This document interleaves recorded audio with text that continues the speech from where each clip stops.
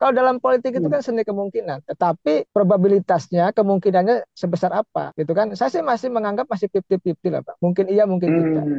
Karena bagaimanapun kan kaderisasi harus jalan, Betul. anaknya juga harus didorong begitu. Ya kita lihat juga soal pemilih. Eh, pemilih kita ini kan 2024 nanti itu kan 55 persen ya, hampir ke 60 persen itu kan pemilih muda. Apakah memang mohon maaf ya Ibu Megawati masih laku gitu di pemilih muda? Itu kan harus jadi pertimbangan.